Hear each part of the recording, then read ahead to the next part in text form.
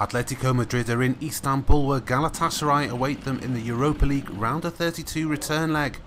After a 1-1 draw in the Calderon, the Rojiblancos know that they must score at least one goal in Turkey if they're to book their place in the next round. Colombian centre-back Luis Perea is well aware of the task the capital side face. The tie is still wide open, either team can go through. We know that for us, Playing as the visiting team is going to be tough, but we have faith that we can progress to the next stage. Atleti will be keen to bounce back after Sunday's Liga BBVA reverse at Almeria by prolonging their European campaign, also in action and with the same objective of Valencia, Villarreal and Athletic Club Bilbao.